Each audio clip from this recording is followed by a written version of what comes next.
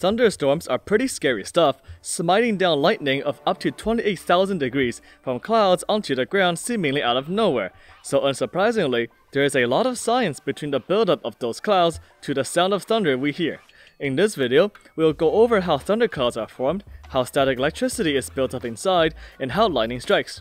Thunderclouds, also known as cumulonimbus clouds, are grown from small cumulus clouds, which are the common fluffy clouds we see with flat bottoms. In order for thunderclouds to form, we need tons of moisture, warmth, and air movement, hence why thunderstorms are common in the warmer summer and autumn months.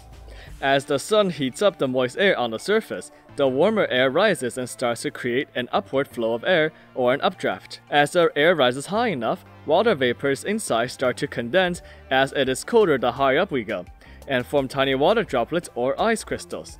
And in contrast to an updraft, since colder air sinks, a strong downdraft is generated which drags the water droplets down to start raining. This combination of air, water vapor, water droplets, and ice crystals creates clouds. Though at this point, we have a massive thundercloud with plenty of moisture, warmth, and air movements. Zooming into the cloud now, since ice crystals are light and water is heavy, the crystals are carried to the top of the cloud by the updraft and water to the bottom of the cloud by the downdraft. This causes them to rub against each other, which is the recipe for generating static electricity. Just like rubbing a balloon against our hair, the charges in a cloud separate, with a positive charge on top with the ice crystals, and negative charge at the bottom with the water droplets. At this point, three types of lightning can occur, either between clouds, within clouds, or between clouds and the ground, which is surprisingly the least common type. If there is strong enough separation between the charges, negative charges form a path in the air called a stepped leader towards positive charges. Similarly, Positive charges can also form a path called an upward streamer towards negative charges. The moment these two paths meet, a circuit is completed and an electrical discharge is released, forming lightning.